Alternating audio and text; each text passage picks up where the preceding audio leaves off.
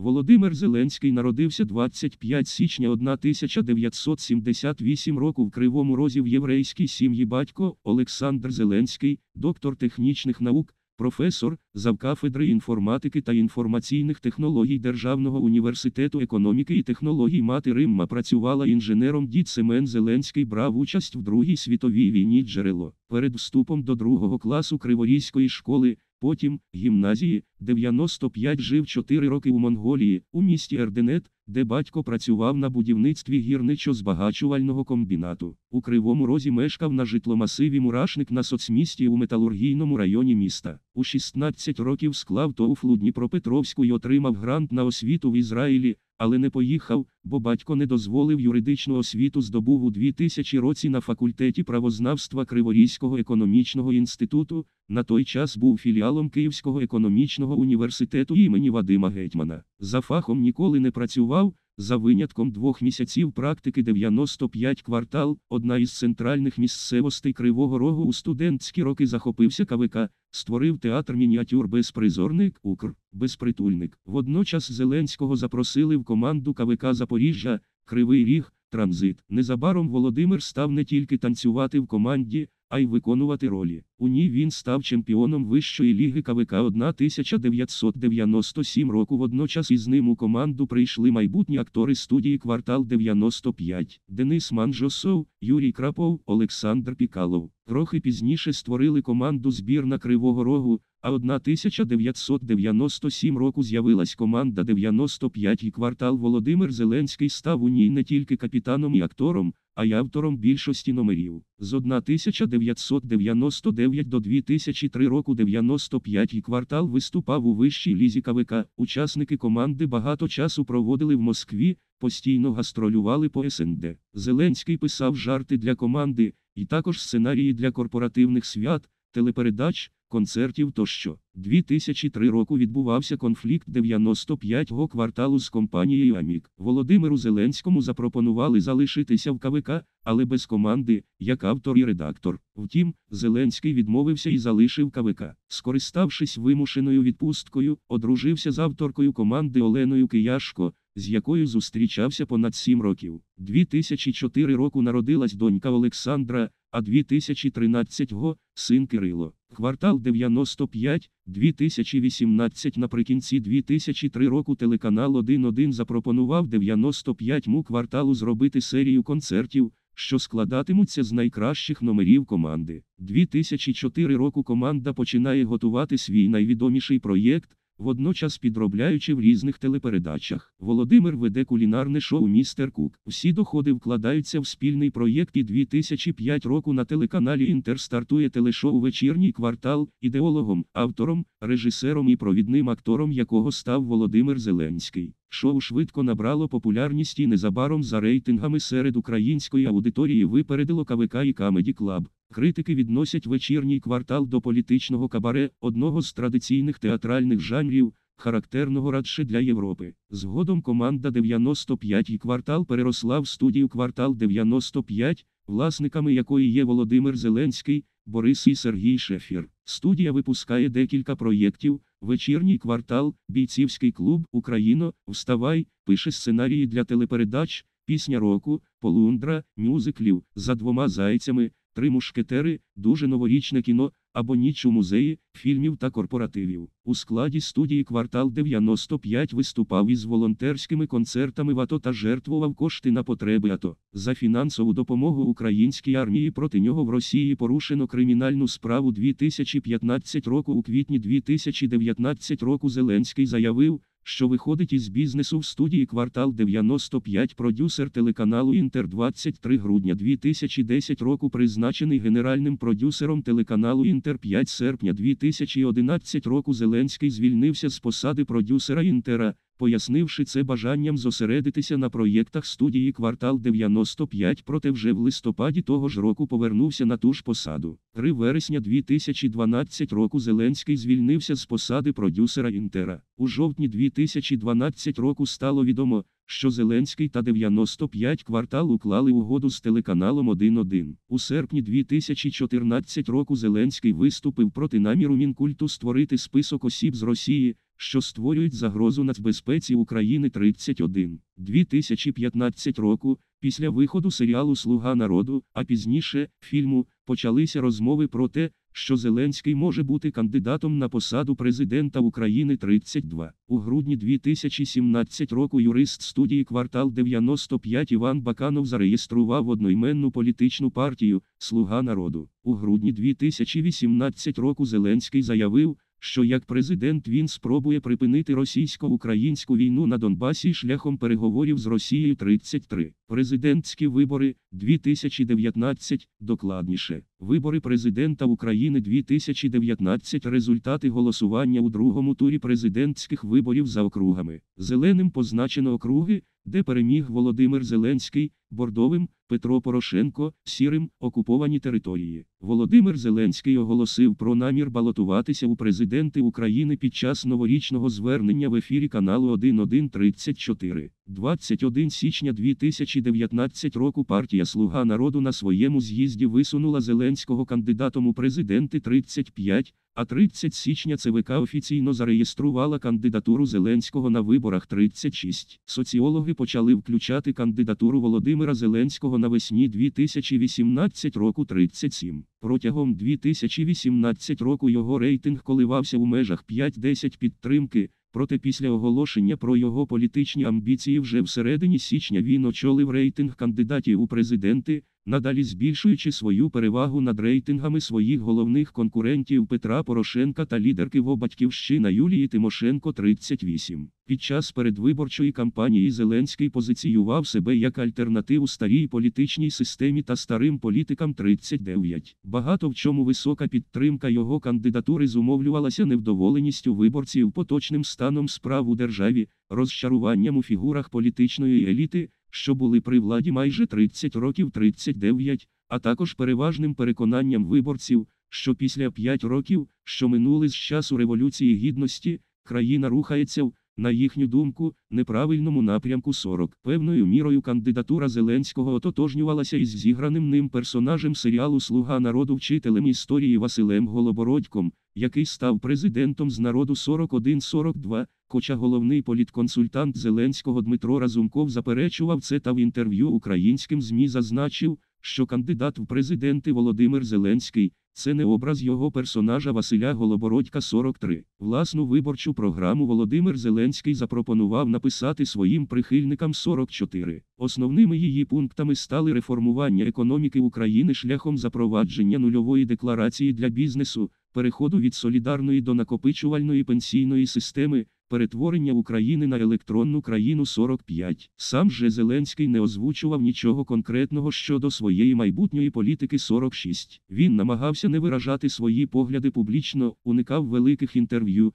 натомість провівши декілька прес-конференцій і виступивши на дебатах проти Петра Порошенка 47. Фінансування передвиборчої кампанії здійснювалося здебільшого коштом партії Слуга народу, 16 МЛН ГРН, внесків фізичних осіб, 68 МЛН ГРН, та коштів самого Зеленського 11,5 МЛН ГРН. Загальний бюджет передвиборчої кампанії становив 102,8 МЛН гривень відповідно до фінансового звіту ЦВК 48. Сам Зеленський заявив, що вартість його президентської кампанії становить 85 МЛН гривень його власних коштів коштів його друзів та партнерів по бізнесу 49. Під час передвиборчої кампанії обговорювалися можливі зв'язки Зеленського з олігархом Ігорем Коломойським 50. Зокрема, зв'язки кандидата та бізнесмена досліджували проєкти журналістських розслідувань схеми та Байхіс-Інфо. Журналісти виявили, що Зеленський користується послугами охоронців, які свого часу працювали на Коломойського 51, а до передвиборчого штабу входить юрист олігарха Андрій Богдан 52-53. Однак штаб Зеленського, як і сам Ігор Коломойський, звинувачення в співпраці відкинули 54-55. Через можливі зв'язки кандидата й олігарха низка публічних осіб та діячів культури закликали не голосувати за Володимира Зеленського 56-57. Під час передвиборчої кампанії Володимир Зеленський запропонував, а Петро Порошенко підтримав ідею Зеленського про здачу аналізів на наявність алкоголю та наркотиків в організмі. Обоє кандидатів здали аналізи, але в різних місцях 58. Володимир Кличко запропонував здати аналізи в міжнародну лабораторію ВАДЕ, Voluntary Anti-Doping Association, де їх здав Порошенко, але Зеленський знехтував його пропозицією та здавав аналізи в клініці Eurolab, власник якої є його соратником та бізнес-партнером, а кров на аналізу Зеленського в клініці його партнера брав актор забороненого 59 серіалу Свати, відзнятого в тому числі студією квартал 95 60 61 Спочатку було оголошено, що результати будуть за декілька днів, але Зеленський оприлюднив їх у своєму Фейсбук за три години із помилкою в даті 62. Чинна на той час очільниця МОЗ Супрун заявила, що аналіз лише крові без нігтів та волосся не є дійсним показником наркотичної залежності, на перевірці якої наполягав Зеленський у своєму відеозверненні до Порошенка 63. Володимир Зеленський під час дебатів на стадіоні Олімпійський заявив про те, що він не був в Росії з моменту початку війни. Однак, за твердженням журналістів програми схеми, корупція в деталях. Спільний проєкт Радіо Свобода і телеканалу УА. Перший Зеленський відвідував Росію чотири рази в травні-червні 2014 року 64-65. Також соціальними мережами почав ширитись фрагмент із програми Чисто в світ 14 травня 2014 де Зеленський веде репортаж з Манежної площі в Москві 66. Під час тих же теледебатів назвав повстанцями російських найманців, що воюють проти ЗСУ в складі терористичних збройних формувань ДНР та ЛНР на Донбасі 67. За результатами голосування 31 березня Володимир Зеленський у першому турі посів перше місце, набравши 30-24 голосів проти 1595 за Петра Порошенка, який також вийшов до другого туру 68. 21 квітня в другому турі Зеленський переміг свого опонента з результатом у 73-22 підтримки проти 24-45 у тодішнього президента 69-70. Президентство докладніше. Президентство Володимира Зеленського. Володимир Зеленський на інавгурації. Київ, 20 травня 2019 року 20 травня 2019 року відбулася інавгурація Володимира Зеленського. Першими указами новобраний президент сформував керівництво адміністрації президента 71, главою ОП став Андрій Богдан 72, та призначив начальником Генерального штабу ЗСУ Руслана Хомчака 73. 21 травня 2019 року Зеленський власним указом достроково розпустив Верховну Раду вії скликання, призначивши позачергові вибори 21 липня,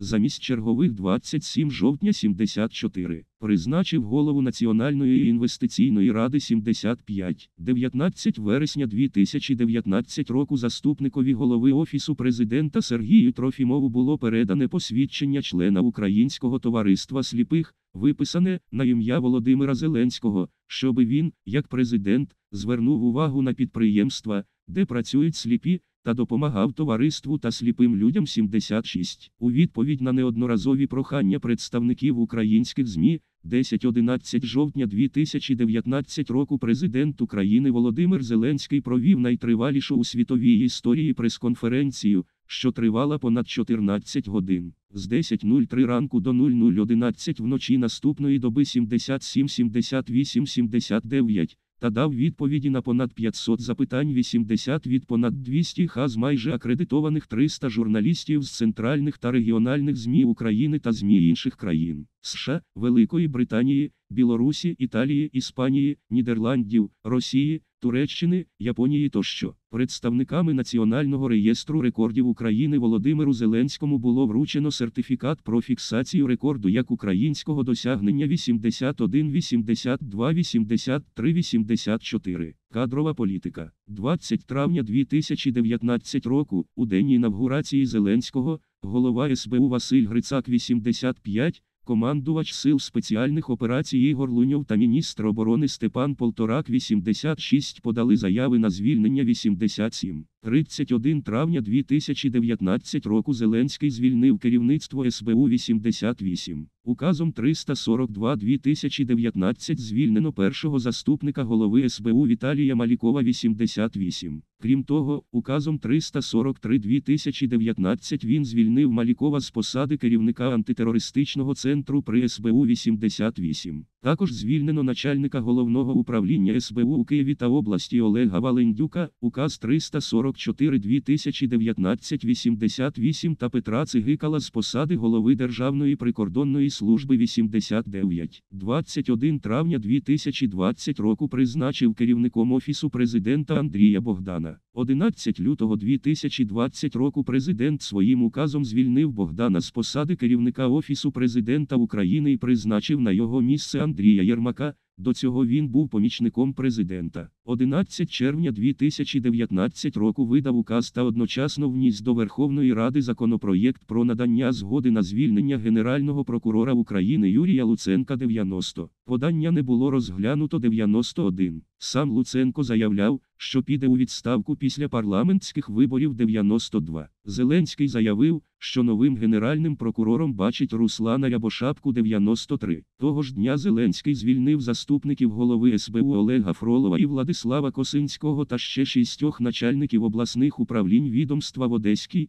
Львівській, Волинської, Вінницькій, Закарпатській та Чернівецькій областях 94. 9 липня 2019 року Зеленський одним розпорядженням звільнив 70 голів районних державних адміністрацій. Причиною звільнень вказав закінчення строку повноважень президента України 95. 4 березня 2020 року Верховна Рада 353 голосами звільнила Олексія Гончарука з посади прем'єр-міністра. Виступаючи в парламенті, президент Зеленський заявив, що уряд Гончарука має досягнення, але не зміг впоратись із поставленими завданнями 96. Новим главою уряду став Денис Шмигаль. За його кандидатуру проголосував 291 депутат. 7 травня 2020 року президент Зеленський призначив Міхаїла Саакашвілі главою виконавчого комітету Національної ради реформ 97. Закон про скасування депутатської недоторканності. 11 вересня 2019 року президент підписав закон України про внесення змін до статті 80 Конституції України щодо недоторканності народних депутатів України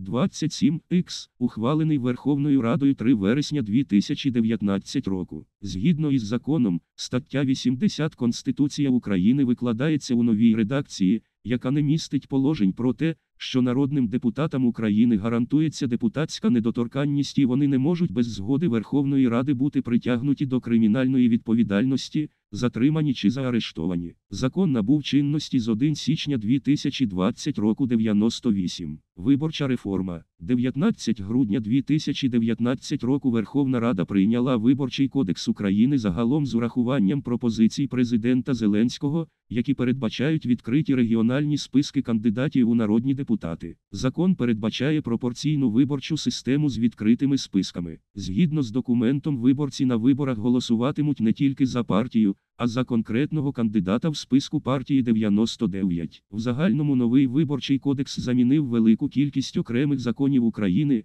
що регулювали порядок проведення виборів президента, Верховної Ради України тощо. Закон про імпічмент. 23 вересня 2019 р. Президент України Зеленський підписав закон про імпічмент. Верховна Рада ухвалила закон про особливу процедуру усунення президента України з посади, імпічмент у першому читанні і загалом 10 вересня. Закон був прийнятий винятково силами депутатів від Слуги народу. В інших фракціях і депутатських групах законодавчу ініціативу голови держави назвали недостатньою і заскладною, а також наголосили на порушенні регламенту ВР під час розгляду проєкту закону. Відповідно до закону, Процедура імпічменту має ініціюватися більшістю народних депутатів України від конституційного складу ВРУ. Для цього парламент має створити спеціальну тимчасову слідчу комісію, до складу якої повинні входити народні депутати України, спеціальний прокурор і спеціальні слідчі. Ця ТСК готуватиме висновки і пропозиції за дослідженими обставинами щодо вчинення президентом державної зради або іншого злочину. Рішення про усунення президента України з посади в порядку імпічменту вважатиметься ухваленим,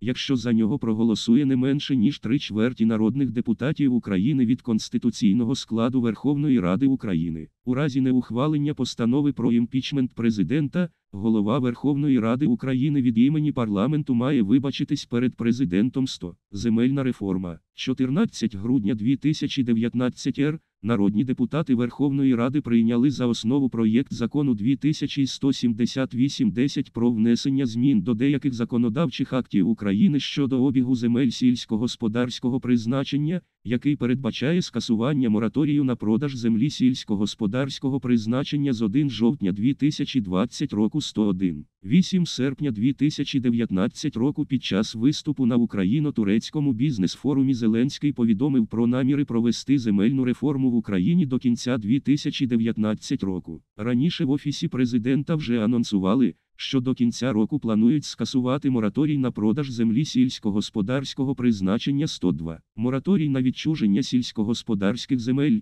який із 2001 року продовжувався уже 10 разів, наразі коли охоплює 96 СГ земель, причому 68 це паї селян 103. Закон передбачає заборону на внесення права на земельну частку, пай до статутних капіталів господарських товариств, купівлю-продаж земельних ділянок сільськогосподарського призначення державної та комунальної власності, крім вилучення, викупу їх для суспільних потреб. Купівлю продаж або іншим способом відчуження земельних ділянок і зміна цільового призначення, використання земельних ділянок, які перебувають у власності громадян та юридичних осіб для ведення товарного сільськогосподарського виробництва 104. Питання залучення іноземних інвесторів відкладено до вирішення на референдумі 105. Голоси подали зокрема політичні фракції партії екс-президента Петра Порошенка та Святослава Вакарчука. 7 лютого 2019 року тодішній президент України Порошенко підписав закон про продовження мораторію до 1 січня 2020 року 106. 24 травня 2021 року під час форуму Україна 30. Земля підписано закон 2194 про внесення змін до Земельного кодексу України та інших законодавчих актів щодо удосконалення системи управління та дерегуляції у сфері земельних відносин. Про земельну децентралізацію 107. Закон про легалізацію грального бізнесу. 14 липня 2020 року Верховна Рада проголосувала за легалізацію грального бізнесу в Україні. Він дозволяє організацію та проведення азартних ігор в казино у залах гральних автоматів. В мережі інтернет, букмекерську діяльність. 11 серпня президент України Володимир Зеленський підписав закон про легалізацію грального бізнесу в Україні 108. Конституційна криза. 27 жовтня 2020 Конституційний суд за поданням 47 народних депутатів ухвалив рішення, яким скасував статтю 366.1 Кримінального кодексу, що передбачає відповідальність за недостовірне декларування. Також КС визнав неконституційними положення законів про перевірку е-декларацій чиновників і скасував право НАСК перевіряти декларації та виявляти конфлікт інтересів. КС своїм рішенням позбавив НАСК доступу до державних реєстрів необхідних для проведення спецперевірок декларацій кандидатів на керівні посади до органів влади. Без цієї перевірки жоден керівник державного органу не може бути офіційно призначеним. 28 жовтня 2020 НАСК закрило доступ до єдиного державного реєстру декларацій. Утім, 29 жовтня ввечері Кабінет міністрів зобов'язав НАСК відновити публічний доступ до єдиного реєстру декларацій. Конституційний суд 28 жовтня оприлюднив текст рішення, ухваленого Великою Палатою КС у складі 15 суддів. У НАБУ заявили, що через рішення КС досі всі справи про недостовірне декларування закриють, а викриті на зловживаннях посадовці уникнуть відповідальності. Потім президент Зеленський вніс до ВР проєкт закону, яким пропонує припинити повноваження усього складу Конституційного суду. У законопроєкті йдеться, зокрема, що рішення КС від 27 жовтня є нікчемним як таке, що прийнято суддями Конституційного суду України в умовах реального конфлікту інтересів. Зеленський запропонував припинити повноваження суддів КСУ з дня набрання чинності законом, а суб'єктам призначення суддів невідкладно розпочати процедуру конкурсного відбору нового складу суду. 2 листопада 2020 УВР було зареєстровано законопроєкт, яким пропонується відновити норми про е-декларування, які були скасовані КС. Авторами проєкту закону про відновлення дії окремих положень закону про запобігання корупції та Кримінального кодексу України 4304 є разумкові члени різних фракцій парламенту, зокрема ЄС, Голос та СН 109. 4 грудня 2020 р. Верховна Рада відновила кримінальну відповідальність за недостовірне декларування,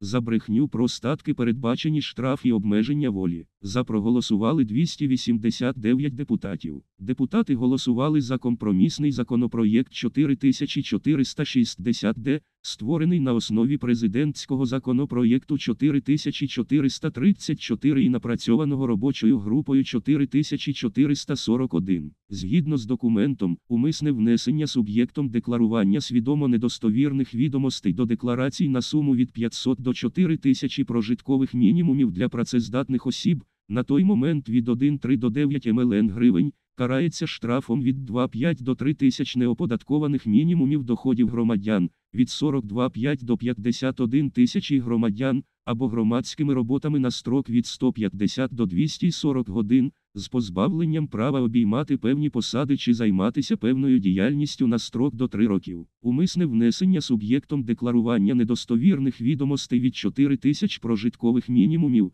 на той момент 9 мільйонів ГРН. Карається штрафом від 3 до 5 тисяч неоподаткованих мінімумів, від 51 до 85 тисяч або громадськими роботами на строк від 150 до 249 годин, або обмеження волі на строк до 2 років з позбавленням права обіймати певні посади чи займатися певною діяльністю на строк до 3 років 110. 25 грудня 2020 президент Зеленський підписав закон про внесення змін до закону України про запобігання корупції, який парламент ухвалив 15 грудня. Так, повністю відновилися повноваження НАЗК, який заблокував Конституційний суд 111. 14 липня 2021 р. Верховний суд задовольнив позов судді Олександра Тупицького до президента Зеленського і визнав протиправним указ, яким він звільнив пана Тупицького з посади судді й голови Конституційного суду. Відповідне рішення ухвалили у середу, 14 липня. Верховний суд роз'яснив, що президент повинен діяти в рамках Конституції, а Конституція і закони України не містять норми,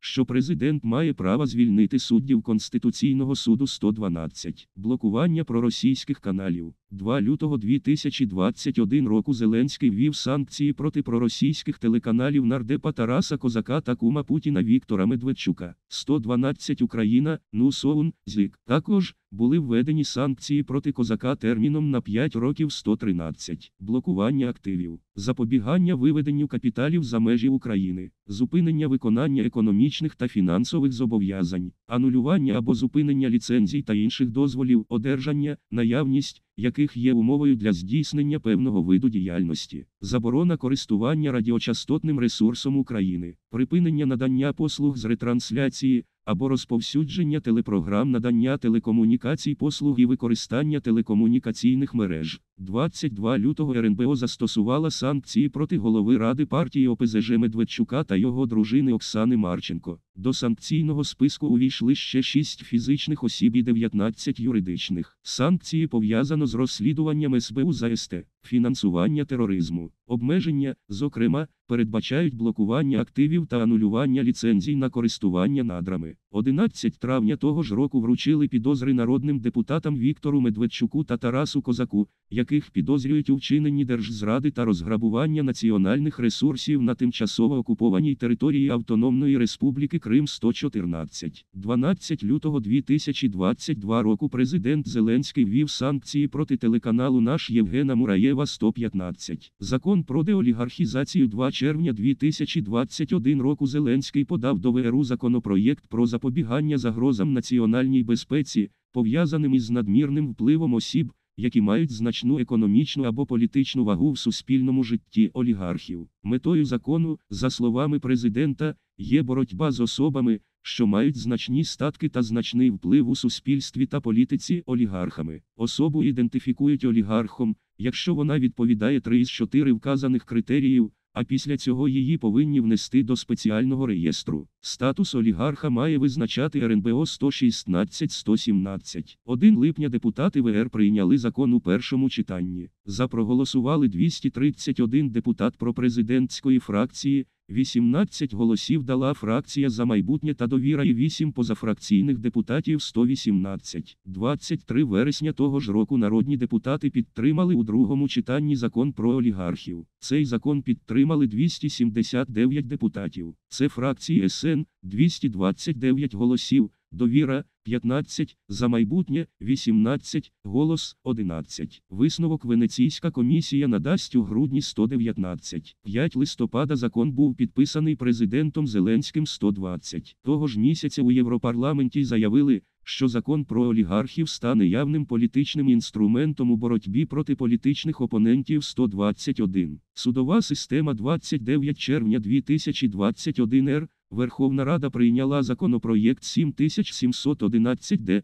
який передбачає зміни до закону про судоустрій та статус суддів, відповідно до якого передбачається перезапуск Вищої кваліфікаційної комісії суддів за вищої ролі міжнародних експертів. За ухвалення законопроєкту проголосувало 293 депутати, проти 20 утримались 0. Законопроєкт, який ухвалили депутати, передбачає, що членів ВККС буде відбирати конкурсна комісія з 6 членів. Йдеться про трьох чинних суддів або суддів у відставці та трьох незалежних міжнародних експертів. Водночас нардепи прийняли 453 поправку, яка передбачає, що міжнародні експерти матимуть вирішальний голос при відборі кандидата до ВККС. Раніше до ухвалення цієї поправки закликали громадські організації 122. 8 липня Зеленський ветував закон про ВККС та повернув в Раду зі своїми доопрацюваннями 123. 3 серпня 2021 року Зеленський підписав закон про реформування Вищої ради кваліфікаційної комісії суддів 3711-д,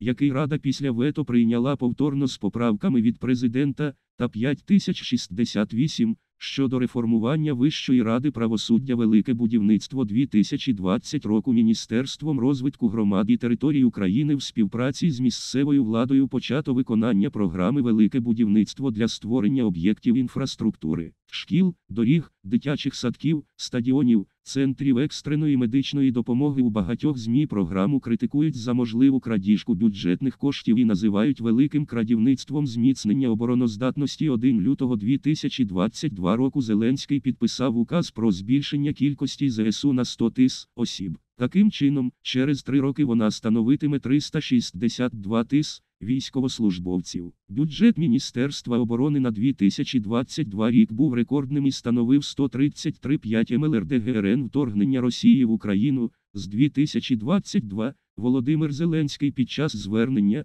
14 березня Володимир Зеленський на зустрічі з головами уряду Польщі, Чехії та Словенії. 15 березня Володимир Зеленський під час виступу в Конгресі США 22 грудня 22 лютого 2022 року під час прес-конференції в Кремлі Володимир Путін заявив, що визнав незалежність Ордло. Він повідомив, що визнав і межі цих республік, визнаних в їх конституціях, тобто всю Донецьку та Луганську область. За словами Путіна, він розуміє, що це спірне питання, і він сподівається на його вирішення під час переговорів між Україною та керівництвом республік. Таким чином, Путін підтвердив, що російські війська, яким уже дозволено увійти в так звані ЛДНР, можуть брати участь у наступальних операціях на підконтрольній Києву території Луганської та Донецької області. 23 лютого Верховна Рада підтримала введення надзвичайного стану по всій Україні, крім Донецької та Луганської областей, де діє ось 24 лютого о 5 ранку, президент РФ Володимир Путін оголосив про вторгнення Росії до України, а Верховна Рада України ввела воєнний стан. Законопроєкт відразу був підписаний президентом Зеленським. Воєнний стан було запроваджено строком на 30 днів того ж дня Україна розірвала дипломатичні відносини з Росією під час наступу російських військ на Київ у ніч з 25 на 26 лютого 2022 року. Володимир Зеленський відмовився від пропозиції США евакуювати його зі столиці. Він підтвердив відеозаписом перед офісом президента, що разом з іншими високопосадовцями перебуває у Києві Володимир Зеленський. 26 лютого звернувся до прем'єр-міністра Ізраїлю Нафталі Беннета з проханням провести переговори між Україною та Росією та допомогти їм стати посередником. Радник глави Офісу президента Михайло Подоляк заперечив твердження речника Росії Дмитра Пєскова про відмову України від переговорів і пояснив, що переговори повинні відбутися у повноцінному форматі, а не як висунення Росією ультиматумів 27 лютого президент Зеленський підкреслив, що дії РФ проти України мають ознаки геноциду та закликав виключити Росію з ООН. Він відзначив, що дії Росії тягнуть на міжнародний трибунал того ж дня. Президент відзначив, що готовий до переговорів з Росією у будь-якій країні, з якої не летять ракети. Серед можливих міст він назвав Варшаву, Братиславу, Будапешт, Стамбул, Баку у ході розмови 27 лютого 2022 року Володимира Зеленського із самопроголошеним президентом Білорусі Олександром Лукашенком. Вони домовилися, що українська делегація зустрінеться з російською без попередніх умов на українсько-білоруському кордоні в районі річки Прип'ять. Для дипломатичних перемовин президент України в Бахмуті зустрівся з українськими військовими та вручив державні нагороди 2012-2022 у понеділок. 28 лютого президент Зеленський підписав заявку на членство України в ЄС 1 березня. Європарламент рекомендував надати Україні статус кандидата в члени ЄС того ж дня. Володимир Зеленський виступив по відеозв'язку у Європарламенті. Президент жорстко розкритикував 4 березня відмову країн-членів НАТО запровадити безпольотну зону в небі над Україною і завив, що Північноатлантичний альянс також нестиме відповідальність за загибель українців. Разом з тим він подякував друзям України серед країн-членів НАТО, які, попри позицію альянсу загалом, продовжують стояти пліч-о-пліч з Україною та допомагати у відсічі ворога у зверненні 5 березня. Президент закликав окуповані раніше території Донецької та Луганської областей боротися, як і в інших окупованих містах. Зеленський наголосив, що спротив українців на тимчасово окупованих територіях дає впевненість у тому, що українську державу буде відновлено 11 березня. Зеленський підписав закон про націоналізацію російських активів. Документ передбачає примусове вилучення майна, власниками якого є РФ та її резиденти на користь України. Тепер держава може конфіскувати рухоме і нерухоме майно, кошти, вклади у банках, цінні папери, корпоративні права, інші активи, що є зареєстровані на території України. Наступного дня президент наголосив, що втрати Росії у війні з Україною найбільші за десятки років 20 березня РНБО призупинило діяльність партій, які мають зв'язки з РФ.